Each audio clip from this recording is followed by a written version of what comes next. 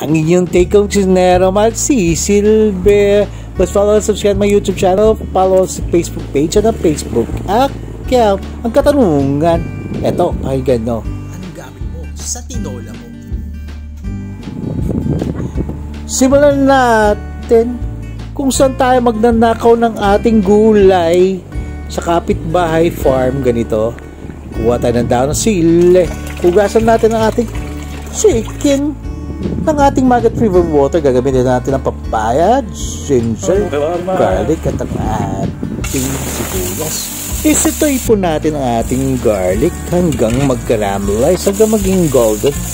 Lagyan natin ang ating onions at ang ating ginger. Napakadali. Lagyan natin ng 1 half cup of patis. Ang ating chicken.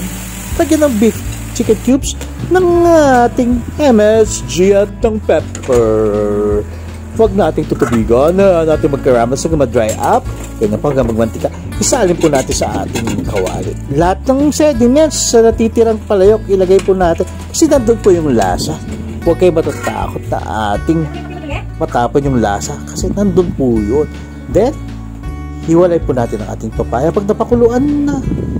Kasi po, para hindi po ma-overcook, ganyan po kadali. Ay, ganyan po ka-easy. Napaka-yum-yum.